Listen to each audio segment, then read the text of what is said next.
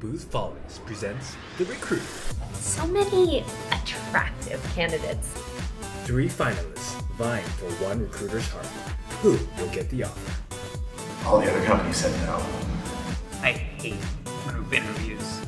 I'm not here to make any friends. Who will break under pressure? Well, they should hire me because I'm poised and uh, uh, uh, confident. Am I confident? Am I confident? Yeah, yeah, you're doing really good. Okay, good, good. Um, When I found out we were from the same alma mater, I just knew it was meant to be. It was like magic. just got goosebumps. oh yeah, we definitely hit it off.